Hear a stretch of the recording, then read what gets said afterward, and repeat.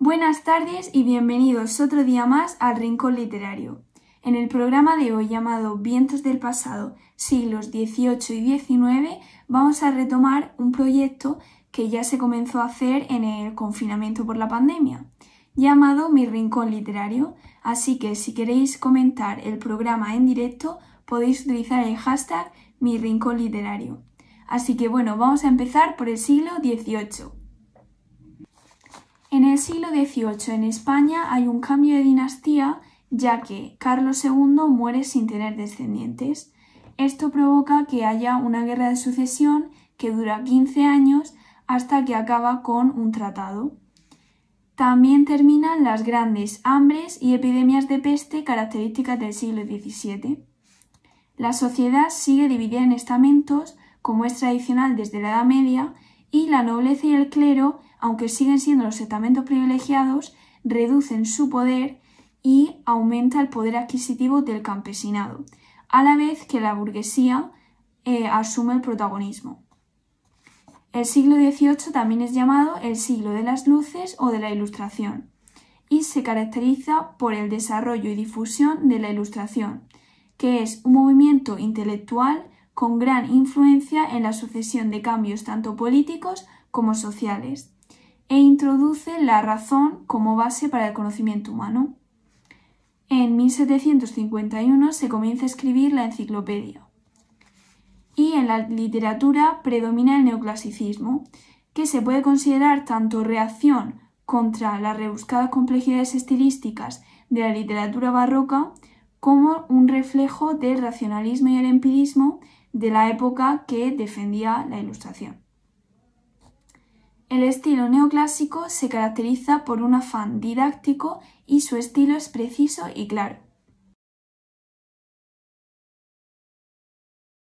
La prosa del siglo XVIII sirve sobre todo como medio de comunicación para la difusión de las ideas. Se atenían a los modelos clásicos para que pudieran ser comprendidos por el público sin necesidad de los recursos retóricos. Esta fue la gran crítica que hicieron los ilustrados a los autores barrocos. Y entre esta prosa tenemos el ensayo, la novela y el cuadro de costumbres. El objetivo de las obras literarias era el didáctico, por lo que en este siglo desaparecen un poco las novelas, las obras de ficción y el género en prosa preferido es el ensayo ya que al aparecer en forma de artículo periodístico se hace muy fácil el, hecho de difundir las ideas. José Cadalso nació en Cádiz en 1741 y murió en San Roque en 1782.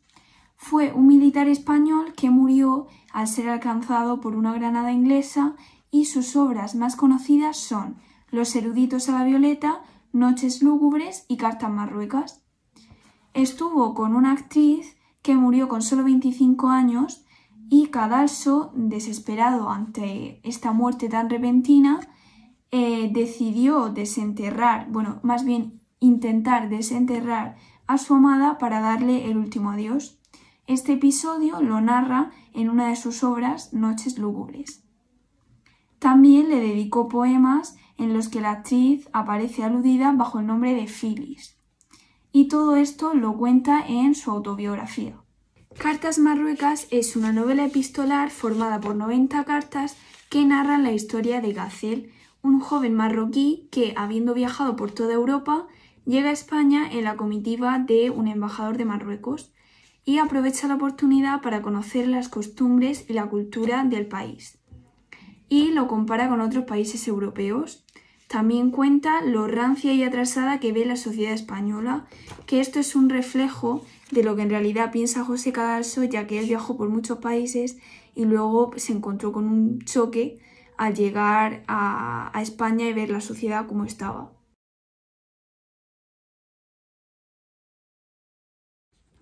El atraso de las ciencias en España en este siglo. ¿Quién puede dudar que procede de la falta de protección que hay a sus profesores? Hay cochero en Madrid que gana 300 pesos duros y cocinero que funda mayorazgos. Pero no hay quien no sepa que se ha de morir de hambre como se entrega a las ciencias, exceptuadas las de pan y lucrando, que son las únicas que dan de comer. Los pocos que cultivan las otras son como aventureros voluntarios de los ejércitos, que no llevan paga y se exponen más. Es un gusto oírles hablar de matemáticas, física moderna, historia natural, derecho de gentes y antigüedades, y letras humanas, a veces con más recato que si hiciesen moneda falsa. Viven en la oscuridad y mueren como vivieron, tenidos por sabios superficiales en el concepto de los que saben poner 77 silogismos seguidos sobre si los cielos son fluidos o sólidos. Pero yo te aseguro, Ben Beley, que si señalasen premios para los profesores, premios de honor o de interés o de ambos, ¿qué progresos no harían? Si hubiese siquiera quien los protegiese, se esmerarían sin más estímulo, pero no hay protectores. En este fragmento, Gazel habla en primera persona dirigiéndose a Ben Beley, mostrándole el poco apoyo a la educación y en general al ámbito científico y de investigación que hay en España en esa época, y el gran progreso que conllevaría la motivación de estos trabajadores, en concreto los profesores, mediante premios o algún tipo de distinción por el trabajo que llevan a cabo. A continuación, nuestra compañera nos va a hacer una pequeña representación de una obra de teatro llamada El sí de las niñas. Exactamente, pero antes de la representación vamos a ponernos en situación. El teatro del siglo XVIII se comienza a establecer como una forma de arte no solo para las clases altas sofisticadas, sino para todos los niveles de la sociedad. Durante toda la primera mitad del siglo, las formas teatrales son herederas del barroco, por lo que triunfan las comedias de magia, heroico-militares, de santos y de figurón. Hay una clara separación también entre comedias y tragedias. Y al seguir los ideales neoclásicos, no a todo el mundo le gusta, así que deciden crear el drama burgués o comedia lacrimógena, que apelaba al sentimiento y tenía un fin moral. Se consigue también un lugar fijo para estas representaciones, que se llaman corrales de comedias y tenían un aspecto tal que así. Y estos corrales, antes de ser escenarios, eran patios traseros de las casas. Leandro Fernández de Moratín, cuyo nombre completo es mucho más largo, nació en Madrid en el año 1760 y murió en París en el año 1828. Fue el comediógrafo neoclásico del siglo XVIII y español más importante y definió el género cómico como la imitación en diálogo escrito en prosa o en verso de un suceso ocurrido en un lugar y en pocas horas entre personas particulares, por medio del cual y de la oportuna expresión de afectos y caracteres resultan puestos en ridículo los vicios y errores comunes en la sociedad, recomendadas por consiguiente la verdad y la virtud. Y los temas fundamentales de los que tratan sus obras son la inautenticidad como forma de vida expresada en los matrimonios concertados por interés, la educación de los jóvenes y el teatro de la época. La obra más conocida de Leandro Fernández de Moratín se llama El sí de las niñas y trata de doña Francisca que tiene 16 años y se ve obligada a casarse con don Diego de 59 años. Cuando éste se entera del amor que hay entre su sobrino don Carlos y doña Francisca decide renunciar al matrimonio y al final todo se resuelve. Y ahora vais a ver una pequeña representación de esta obra. Haré lo que mi madre me manda y me casaré con usted. Y después, Paquita, después y mientras que dure la vida, seré mujer de bien. Eso no lo puedo ayudar, pero si usted me considera como el que ha de ser hasta la muerte su compañero y su amigo, dígame usted, ¿Estos títulos no me dan algún derecho para merecer de usted mayor confianza? ¿No he de lograr que usted me diga la causa de su dolor? Y no para satisfacer una impertinente curiosidad, sino para emplear método en su consuelo, en mejorar su suerte, en hacerla dichosa, si mi conato y mis diligencias pudiesen tanto. Dichas para mí, ya se acabaron. ¿Por qué? Nunca diré por qué. Pero, ¡Qué obstinado, qué imprudente silencio! cuando usted misma debe presumir que no estoy ignorante de lo que hay. Si usted lo ignora, señor don Diego, por Dios no finja que lo sabe. Y si en efecto lo sabe usted, no me lo pregunte. Bien está. Una vez que no hay nada que decir, que esa aflicción y esas lágrimas son voluntarias, hoy llegaremos a Madrid, y dentro de ocho días será usted mi mujer. Y daré gusto a mi madre. Y vivirá usted infeliz. Bueno, espero que os haya gustado y ahora voy a hacer un pequeño comentario de este fragmento. Doña Francisca y don Diego estaban conversando acerca de la tristeza de doña Francisca y al no querer decir la razón de esto, don Diego saca el tema de la educación que se le da a las niñas diciendo que les priva de su libertad para tomar decisiones. En este fragmento en especial no hay narrador porque simplemente hay un diálogo entre esos dos personajes ni tampoco hay acotaciones. Se utiliza un vocabulario oculto y, por ejemplo, hablan de usted porque son de clase alta y se puede ver la ironía que utiliza don Diego en esto es lo que se llama criar bien a una niña, enseñarla que desmienta y oculte las pasiones más inocentes con una pérfida disimulación. La época del romanticismo comienza con varias revoluciones, la Revolución Francesa, la Revolución Industrial y la Declaración de Independencia de Estados Unidos. Se empieza una sociedad liberal que sustituye a la monarquía absolutista y la sociedad estamental que había antes y se empiezan a desarrollar ideas nacionalistas basadas en la idea del espíritu del pueblo, especialmente en el centro de Europa. La burguesía adquiere mucho poder y las características más llamativas de la literatura son el culto del yo y del individualismo, el rechazo al neoclasicismo y a la ilustración, y la exaltación de los sentimientos y la subjetividad. Algunas características de la poesía romántica son el predominio de la belleza y las emociones sobre la razón, la importancia del yo, de lo íntimo, se expresan los sentimientos y los deseos en contraposición con la realidad. Los temas más frecuentes son el amor normalmente apasionado y con un final trágico y la muerte que supone la liberación del alma. Tiene un estilo espontáneo y creativo y combina diferentes versos y estrofas en una misma obra. Gustavo Adolfo Becker fue el mayor representante de la poesía lírica romántica en España. Nació en Sevilla en el 1836 y murió en Madrid en el 1870. La musicalidad y aparente sencillez formal de sus versos radican en el interés que tenía Becker en la nueva lírica alemana, sobre todo en la de Heine, que fue un autor que le influyó mucho. Trata temas como el amor, la traición, la venganza y la mujer, y sus 79 composiciones poéticas están en un libro que se llama Rimas. Rima 23. Por una mirada, un mundo por una sonrisa un cielo, por un beso yo no sé qué te diera por un beso. En esta rima 23 en verso el tema es el amor y está compuesta por cuatro versos octosílabos de arte menor que forman una copla. Solo riman el segundo con el cuarto, una rima sonante, y el primero y el tercero son versos sueltos. Hay una anáfora en los tres primeros versos, ya que los tres empiezan por por, y en los dos primeros versos hay un paralelismo, ya que utiliza la misma estructura. Y su esquema métrico es 8, 8A, 8, 8A. Y ahora os dejo con nuestra compañera que nos va a hablar un poco de la prosa realista y de una obra que seguro que os va a encantar que se llama Fortunata y Jacinta. Así es, Eugenia. Y bueno, primero voy a hacer una pequeña introducción al realismo.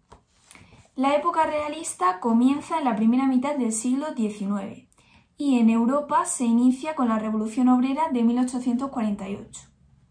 La burguesía consolida su poder siendo la clase social dominante y deriva hacia posturas cada vez más conservadoras, lo que hace que aparezcan gobiernos también de este mismo signo se intenta reflejar la realidad con exactitud y objetividad imitando el método científico. Y en cuanto al realismo literario, es una corriente estética que supuso una ruptura con el romanticismo, tanto en los aspectos ideológicos como en los formales. Todo esto durante la segunda mitad del siglo XIX. El escritor realista vive en una sociedad en la que los valores burgueses cada vez están más consolidados. Así que coge esta sociedad como punto de partida, es decir, que ya no huye de su realidad, sino que se propone retratarla, frecuentemente con intención crítica y también llevan una visión optimista y con esperanza en un futuro con un progreso. En la prosa realista el objetivo es presentar un retrato de la sociedad. Para esto se utilizan las novelas que lejos de ser como las del romanticismo, los protagonistas son personas de clase media generalmente y no héroes. Se busca la objetividad y la verosimilitud, y el narrador, que es omnisciente, eh, detalla con mucha exactitud los sucesos y el espacio. Uno de los autores de la prosa realista fue Benito Pérez Galdós, que nació en Las Palmas de Gran Canaria en 1843 y murió en Madrid en 1920. Escribió algunas obras de teatro que tuvieron éxito, pero es más conocido por ser uno de los mejores representantes de la novela realista y no solo en España. Llegó a ser propuesto para el Premio Nobel de Literatura de 1912 pero por su anticlericalismo hizo que no se odieran y también tenía una gran afición por la política. Una de las novelas más conocidas de Benito Pérez Galdós es Fortunata y Jacinta, que es una obra con muchas descripciones y bien detallada y nos narra la vida de un trío amoroso. Primero tenemos a Juanito Santa Cruz, que está casado con Jacinta y pertenecen a la burguesía rica y arreglada de Madrid. Y luego se encuentra la amante de Juanito que se llama Fortunata y pertenece a la clase baja. Y pues se dan una serie de acontecimientos ya que Jacinta, la mujer, no se puede quedar embarazada, pero Fortunata se queda embarazada de Juan. A poco de acostarse, notó Jacinta que su marido dormía profundamente. Observábale desvelada, teniendo una mirada tenaz de cama a cama. Creyó que hablaba en sueños, pero no. Era simplemente quejido sin articulación que acostumbraba a lanzar cuando dormía. Quizás por causa de una mala postura. Los pensamientos políticos nacidos de las conversaciones de aquella noche huyeron pronto de la mente de Jacinta. ¿Qué le importaba a ella que hubiese república o monarquía? Ni que don Amadeo se fuera o se quedase mas le importaba la conducta de aquel ingrato que a su lado dormía tan tranquilo. El pérfido guardaba tan bien las apariencias que nada hacía ni decía en familia que no revelara una conducta regular y correctísima. Trataba a su mujer con un cariño tal que, vamos, se le tomaría por enamorado. Solo allí, de aquella puerta para dentro, se descubrían las trastadas. Pensando en esto, pasó Jacinta parte de aquella noche, atando cabos, como ella decía, para ver si de los hechos aislados lograba sacar alguna afirmación. Estos hechos, valga la verdad, no arrojaban mucha luz que digamos sobre lo que se quería demostrar. Tal día y a tal hora Juan había salido bruscamente después de estar un rato muy pensativo, pero muy pensativo. Tal día y a tal hora Juan había recibido una carta que le había puesto de mal humor. Por más que ella hizo, no la había podido encontrar. Ninguno de estos datos probaba nada, pero no cabía duda. Su marido se la estaba pegando. En este pequeño fragmento de la novela Fortunata y Jacinta, el narrador en tercera persona cuenta detalladamente todos los pensamientos que tiene Jacinta al mirar a su marido y cómo va atando cabos hasta llegar a la conclusión de que le está siendo infiel y la historia, este fragmento, se desarrolla en el dormitorio de estos dos una noche. Bueno, en conclusión, en estos dos siglos se crearon obras literarias súper conocidas a día de hoy, o más bien las podemos llamar obras de arte. En el siglo XVIII eh, eran más objetivas, ya que con el movimiento neoclásico y la ilustración era una época de divulgación y grandes avances tanto en el pensamiento como en la razón en general, por eso el género literario preferido también era el ensayo. Y en el siglo XIX ya hay un gran individualismo y se valoran más las emociones, los sueños y la subjetividad, eh, al revés que en el racionalismo ilustrado. Así que bueno, hasta aquí el programa de hoy, espero que os haya gustado y muchas gracias por llegar hasta aquí. Adiós.